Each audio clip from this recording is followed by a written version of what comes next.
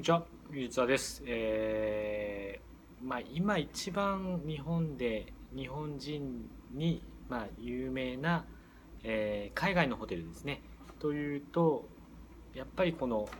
マリーナ・ベイ・サンズ、えーこちらですね。じゃないかと思います。で、えーこのホテルですね、意外とおツアーで参加するとですね、えーまあ、デラックスあのルームとか、えーその辺の、おまあ、カテゴリーが低いお部屋のですね、利用になりますので、えーそんなに高くないです。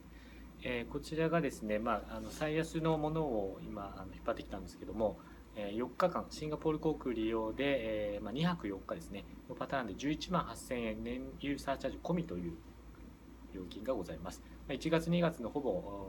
毎日出発日設定あります。まあ空いてるかどうかはですねその時次第なんですけども、まあ、ほぼ、まあ、今のところ大丈夫だと思います。まあ、旧正月はちょっときついかもしれないですけど、えーそれでおすすめをしております。えーやっぱりですね、この、まあ、マリーナ・ベイさんの前で、まあ、毎晩開催される、あの、レーザーショーとかですね、あとやっぱりこの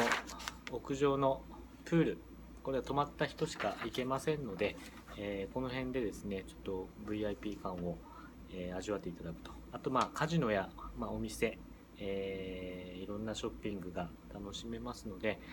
えー一度はやっぱ行ってみたいホテルの一つじゃないかと思いますので、こういうお安い価格で行かれたらいかがでしょうか。えーご希望の方はぜひお問い合わせお待ちしております。よろしくお願いします。